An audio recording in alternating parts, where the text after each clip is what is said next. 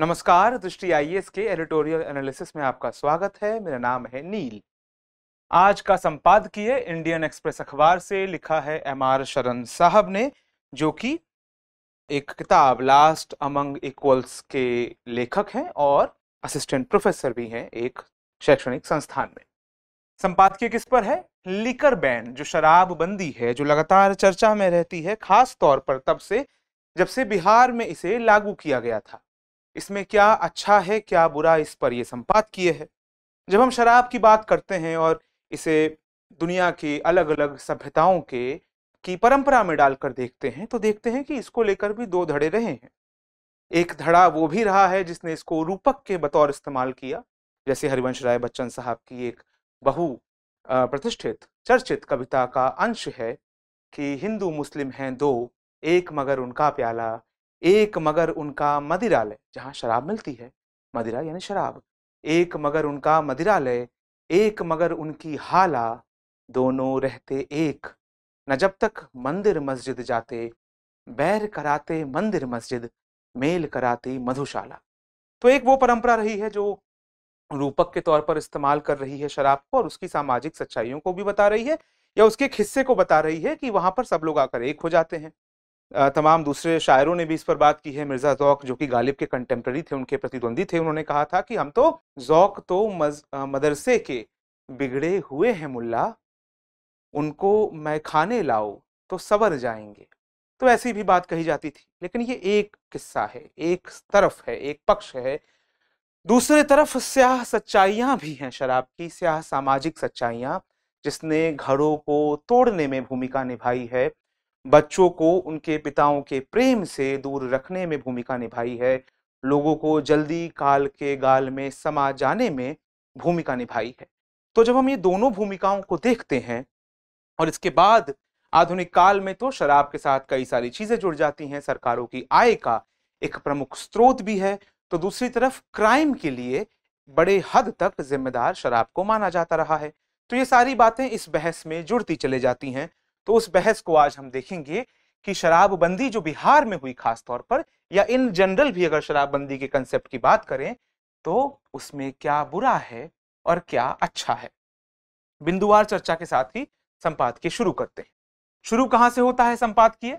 कि 1948 में जब संविधान सभा की बहसें चल रही थी तो शराबबंदी भी वो मुद्दा थी, जहाँ पर ये, जिस मुद्दे पर ये बहस हुई और बी एच खाड़ेकर साहब जो कि बॉम्बे से आते थे, बॉम्बे स्टेट से आते थे, वहाँ से आने वाले इंडिपेंडेंट मेंबर थे, उन्होंने शराबबंदी की तीन ग्राउंड्स पर मुखालफत की। कहा कि नहीं लागू होनी चाहिए शराबबंदी। क्या थे वो तीन मुद्दे? पहला, कि प्रोहिबिशन प्रोहिबिशन आम भाषा में इसका शब्द होता है, शराबबंदी के लिए ही इसको इस्तेमाल किया जाता है। वैसे प्रोहिबिशन का मतलब होता है रोकना लेकिन अगर केवल प्रोहिबिशन लिखा है इसका मतलब शराब को रोकना आ, कानूनी हलकों में इसको माना जाता है। तो प्रोहिबिशन को एनफोर्स करना बहुत दिक्कत है। तो पहली समस्या एनफोर्समेंट की।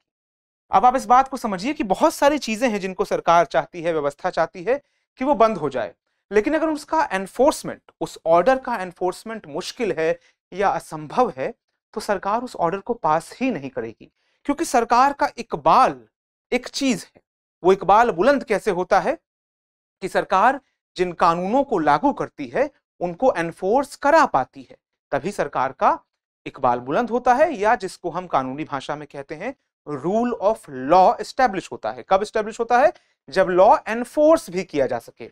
शराबबंदी को लेकर खारडेकर साहब का कहना था कि इसको एनफोर्स करना ही बहुत मुश्किल है। इसको रोकने के लिए बहुत सरकारी अमला लग जाएगा, बहुत पैसा खर्च होगा, इतना हम वहन नहीं कर पाएँगे। दूसरा कि जो थोड़ा बहुत लिमिटेड एनफोर्समेंट होगा भी, उससे हमारी जो कानूनी संरचना है, खास तौर पर जेलें हैं, कोर्ट हैं, ये भर जाएँगी। बॉटल जो है, उसका जो नेक होता है, उसमें कुछ फंस जाए तो बॉटल के ना इस पार कुछ आ सकता है, ना उस पार। तो ये बॉटल नेक बन जाएगा, कानूनी प्रक्रिया पूरी तरीके से जाम हो जाएगी। और तीसरा रेवेन्यू लॉस सरकारों को इससे जो आमदनी होती है या हो सकती है वो आमदनी भी नहीं होगी, क्योंकि शराब जिसको पीनी है, उसमें से कुछ लोग तो उसको पीते ही रहेंगे, इस पर हम आगे आएँगे भी। लेकिन उस पीने से जो सरकार को आमदनी होनी थी, सरकार उसका उपयोग तमाम जनहित के कार्यों के लिए या शराबबंदी के लिए, शराब की रोकथाम के लिए कर सकती थी, वो भी नहीं कर पाएगी तो रेवेन्यू लॉस होगा। ये तीन कारण गिनाए गए कॉन्स्टिट्यूएंट असेंबली में। संपादकीय आगे कहता है कि खारडेकर साहब अगर बिहार के एक्सपेरिमेंट को देखते, बिहार में 2016 में जब शराबबंदी लागू की गई, उसको देखते तो क्या कहते? ये संपादक जब खुद मुजफ्फरपुर के गाँवों में घूमे तो सरप्राइज़ हुए कि शुरुआत में ये पॉलिसी कितने अच्छे से इम्प्लीमेंट हुई थी। कैसे? जो शाम के अड्डे थे, जहाँ पर दिन भर के दिहाड़ी मजदूर जमा हुआ करते थे, वो अड्डे अब खाली दिख रहे थे। पूछने पर मालूम हुआ, तहकीकात पर मालूम हुआ कि वो लोग अपने घरों में जाते हैं। जो रोज के पियक्कड़ थे, जिनको आम भाषा में पियक्कड़ कहा जाता है, शायद उन्होंने अपने रास्ते बदल लिए थे। महिलाओं का कहना था कि उनके पति सुधर गए हैं, संपादकीय कहता है शांत हो गए हैं। दोस्तों ने, जो इनके संपादक के दोस्त थे, उन्होंने कहा कि पटना तक में शराब को खोजना असंभव जैसा हो गया है। यानी कि संपादक को लगा कि खारडेकर महोदय जो संविधान सभा में बात कह रहे थे उसमें कुछ खास वज़न शायद नहीं था।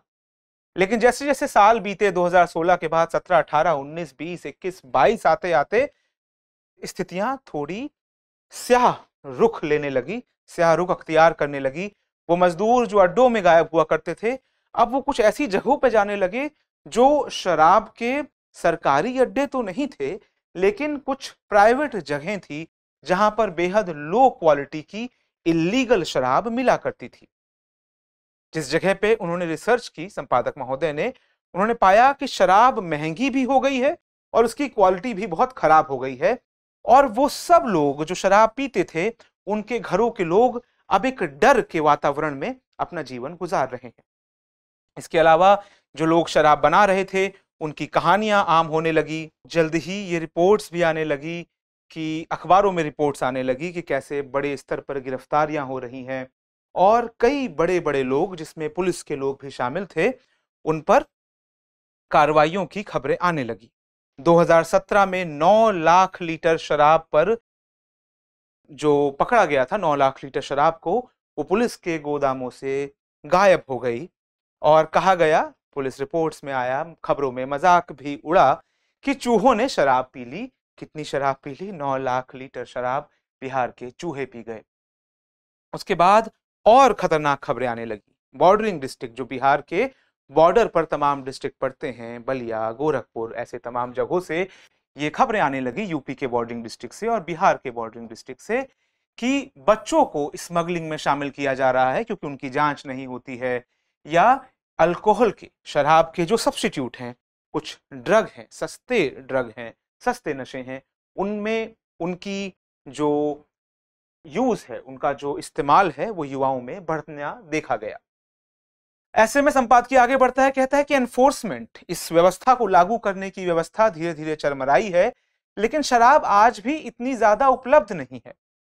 और इसका सबसे बड़ा असर देखने को मिला है डोमेस्टिक वायलेंस पर। अच्छाई की बात हो रही है डोमेस्टिक वायलेंस घरेलू हिंसा में कमी दर्ज की गई सैतीस प्रतिशत तक की रिपोर्ट्स गिर गई। 2016 से 2020 में घरेलू हिंसा के मामले में सैंतीस प्रतिशत की कमी देखने को मिली। एक पेपर, रिसर्च पेपर यह भी कहता है कि झारखंड के मुकाबले प्रॉपर्टी क्राइम और दूसरे वायलेंट क्राइम में बिहार में कमी देखने को मिली। झारखंड से तुलना इसलिए क्योंकि झारखंड बिहार से कटकर बना था और एक हद तक आर्थिक, सामाजिक समानता बिहार और झारखंड में अधिक है। तो ये वो कमी भी देखने को मिली। क्राइम में कमी देखने को मिली वायलेंट क्राइम में कमी देखने को मिली, घरेलू हिंसा में कमी देखने को मिली। खारडेकर के बेसिकली बिंदुओं की बात हो रही है। खारडेकर साहब ने कहा था कि क्या क्या समस्याएँ आ सकती हैं, उन समस्याओं के जगह ये नहीं सोचा था कि फ़ायदे भी क्या क्या हो सकते हैं। एक फ़ायदे की बात हुई। हालाँकि खारडेकर साहब ने कहा था कि रेवेन्यू का लॉस होगा, वो लॉस हो रहा है। टैक्स रेवेन्यू इकतीस करोड़ आया था 2014-15 में, जो शराब पर टैक्स लगने से आया था। और बिहार के स्टेट जीडीपी का एक प्रतिशत आबकारी कर या शराब पर लगने वाले टैक्स से आया था। यानी कि एक तरीके से देखें तो 2019-20 का जो बिहार का हाउसिंग बजट है, गरीबों को घर प्रदान करने का जो पूरा बजट है, वो पूरा पैसा केवल शराब के कर से आ सकता था। लेकिन संपाद के आगे बढ़ता है कहता है कि देखिए इन आंकड़ों को देखेंगे तो लगेगा कि बहुत बड़ा हिस्सा कर, का जो था वो सरकार के पास नहीं आ रहा है। लेकिन ध्यान रखिए, सरकार के पास, बिहार की सरकार के पास जो आय होती है, उसका पिछहत्तर प्रतिशत जो सेंट्रल के टैक्स में बिहार का हिस्सा है या सेंट्रल की तरफ़ से बिहार को जो ग्रांट मिलती है, पिछहत्तर प्रतिशत तो वही आता है। और इन आंकड़ों को अगर ध्यान में रखें तो अल्कोहल से जो बिहार सरकार को पैसा आता था तो जो टोटल रेवेन्यू रिसीट है टोटल रेवेन्यू जो बिहार सरकार के पास आ रहा है, उसमें से एक रुपए में पाँच पैसा शराब से आता था मात्र। तो रेवेन्यू लॉस इतना बड़ा नहीं हुआ। बात हो रही थी, खाडेकर साहब ने कहा था, जेलें भर जाएँगी। बिहार की जेलें भरी नहीं है, ऐसा संपादकीय कहता है। क्यों? क्योंकि कन्विक्शन रेट शराब के कानून के अंदर बहुत कम है। इस पर भी बीच में बवाल हुआ था, क्योंकि शुरुआत में कानून बहुत सख्त थे। लेकिन इस बात को ध्यान में रखते हुए कि ये सिस्टम क्लॉग ना हो जाए जाम ना हो जाए, कानून को थोड़ा लचीला बनाया गया, फाइन बढ़ाए गए, लेकिन जो कन्विक्शन रेट है उसमें कमी देखने को मिली और साथ ही सजाएँ भी थोड़ी आसान की गई।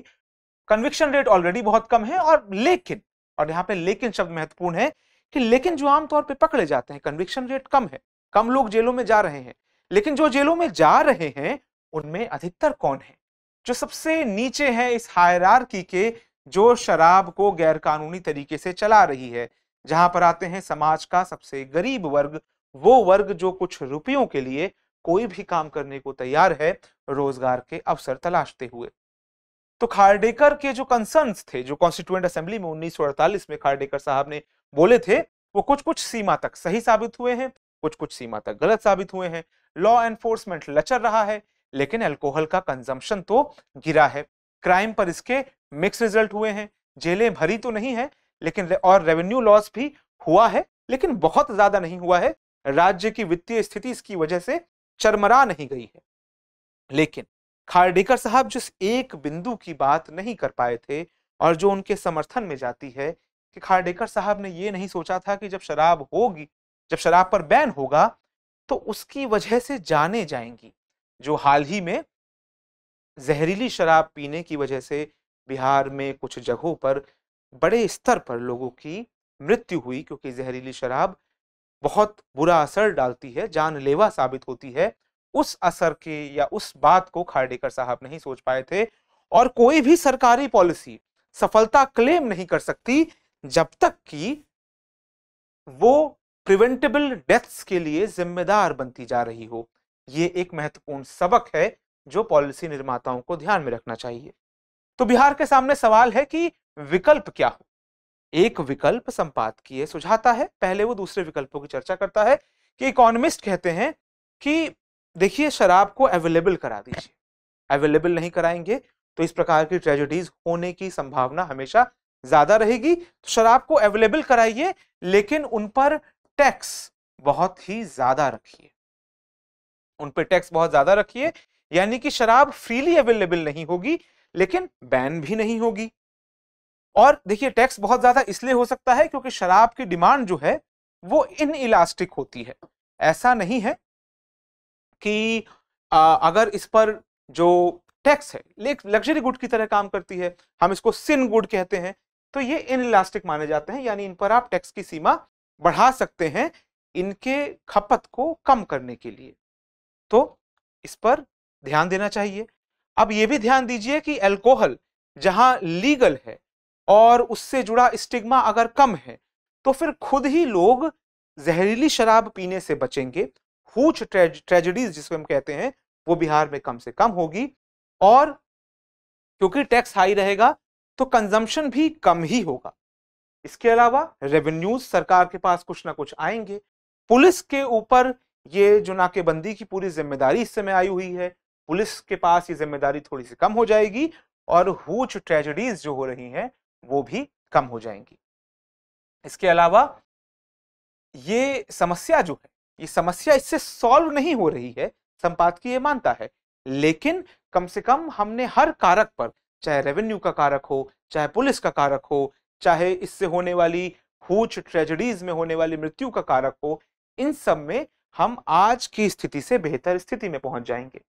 तो आखिरी सवाल है कि अगर इतना सब कुछ संपादक महोदय सोच पा रहे हैं तो क्या सरकार को ये सब नहीं मालूम? संपादक महोदय कहते हैं, देखिए, सरकार को ये सब मालूम है, लेकिन कुछ ऐसा है जो इससे ज़्यादा सरकार को मालूम है। क्या है वो? कि सरकार ये जानती है कि इस कदम को बिहार की आधी आबादी का समर्थन बहुत ज़्यादा हासिल है। आधी आबादी यानी महिलाओं की आबादी।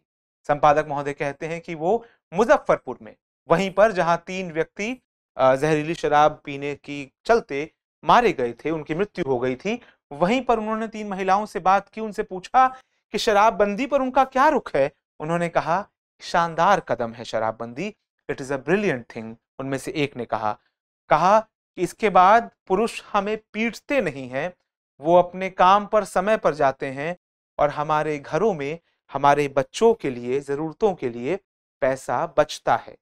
तो ये एक सामाजिक सच्चाई है, जिसको कई वो लोग, जो शराबबंदी को केवल कानूनी नज़र से देखते हैं या केवल वित्तीय नज़र से देखते हैं, इन बातों को अप्रिशिएट नहीं कर पाते। तो ऐसे में संपादकीय कहता है कि देखिए, ऐसे समय में जब दुनिया तमाम संकटों से गुजर रही है तमाम तरह के इकोनॉमिक क्राइसिस आ रहे हैं। ऐसे में महिलाओं के लिए या इवन परिवारों के लिए घर की आर्थिक स्थिति घर की सामाजिक स्थिति घर पर स्थायित्व सबसे महत्वपूर्ण है। Their home is their word Rabindranath Tagore का, का की एक प्रसिद्ध कृति थी होम एंड दी वर्ल्ड घरे भैरे। तो वो कहते हैं कि उनका घर ही उनका संसार है और उनको लगता है कि शराबबंदी ने इसमें एक भूमिका निभाई है। उनके घर को उनके संसार को स्थायित्व देने के लिए। तो इस बात को भी ध्यान रखा जाए नागरिकों के तौर पर सोचने वाले नागरिकों के तौर पर लोगों को इस पहलू को भी ध्यान में रखना चाहिए। तो संपादकीय ने कॉन्स्टिट्यूंट असेंबली की डिबेट्स के बारे में बताया उसके बाद आ, बिहार में जो है प्रोहिबिशन लगा उसकी सामाजिक सच्चाइयों को बताया उसके फ़ायदे गिनाए उसके नुकसान गिनाए आगे की राह बताई और एक ऐसी सामाजिक सच्चाई जिससे कई लोग मुँह चुरा लेते हैं या उस पर ध्यान नहीं देते, आधी आबादी की सच्चाई उसको भी बताया। तो ये था आज का संपादकीय, मिलते हैं एक नए संपादकीय के साथ। तब तक के लिए नमस्कार।